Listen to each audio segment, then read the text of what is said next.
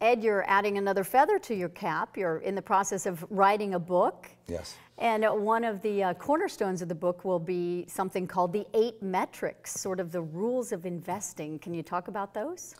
So, for a long time, it's bothered me as to why people do business with certain financial advisors.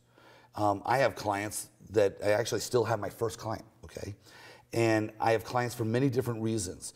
But it always confuses me as to how someone selects somebody. Mm-hmm. And I realized when I was reflecting on this that people don't know how to evaluate their investment portfolio or their financial advisor.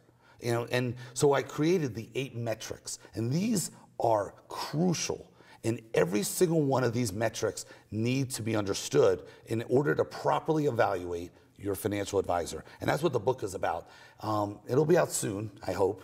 Um, but in order to look at the eight metrics, let me list them for you. The first one is what rate of return do you need to make in order to not lose purchasing power?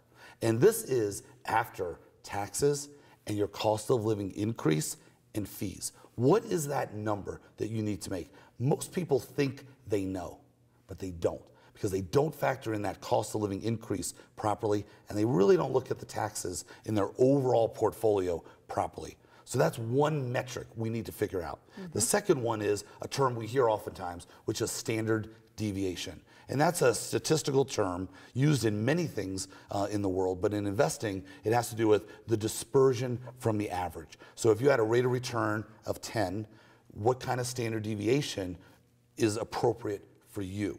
All right? mm-hmm. And it, it really is 0.8 or 80% or less. Now, the third one I love, it's called variance drag phantom tax. And I love it when people take my advice and do this. Go to your financial advisor and simply say, what is my variance drag phantom tax on my portfolio?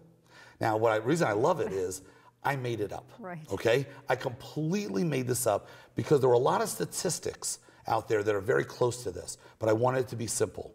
And you want your variance drag phantom tax to be 0.8 or lower on your portfolio. And if you go to my website, we can work these numbers and you can see exactly what it is. And if it's 1.5 or higher, that's a disaster. That means you're taking too much risk for the return. Again, these have to be measured over a seven to 10 year uh, time horizon. Then the next one is the Sharpe ratio. Bill Sharpe won a Nobel Prize in 1990 for the Sharpe ratio. It was one third of the prize for modern portfolio theory. He's a brilliant professor, mm-hmm. University of Chicago. He's at Stanford now, and that number needs to be one or higher.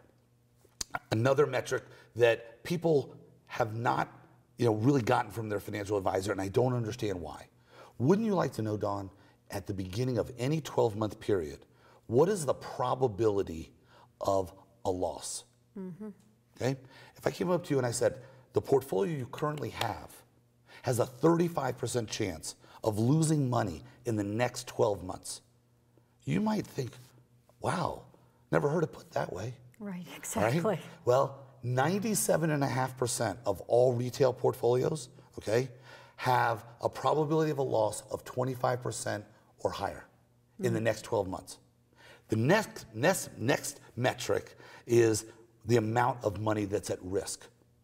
If you had a portfolio, you would like to know over the next 12 months, based on historical data, what actually is the probability of a loss and how much is at risk. Those are crucial statistics. Next is, and, and I'm almost done, but, but, but these are very important, yes. is the upper and lower range based on historical data. We have to say based on historical data for the, for the lawyers, by the way. Okay, always have to say that. But the upper and lower returns, you want that to be as narrow as possible.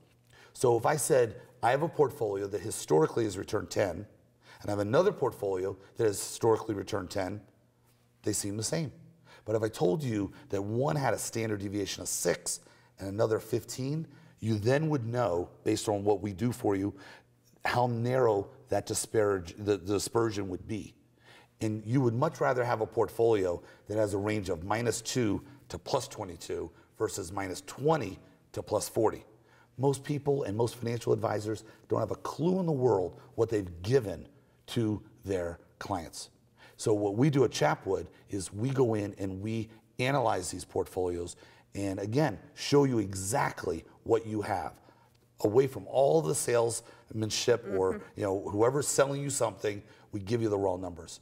And the last thing is the correlations to the S&P. Correlation is a statistical term and it has to do with how much you move up and down with the stock market. And when you're managing money, you want to make sure that you always have some investments that aren't doing well. Because if everything goes up based on a positive economic condition, everything will go down when that economic condition changes.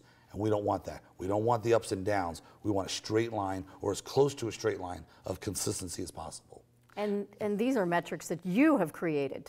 I, I've created, renamed, shaped them, but this is how you evaluate an advisor. You don't evaluate an advisor by what friends they have and who likes that person. I'm making it easy. I want people to clearly understand what this game is because guess what?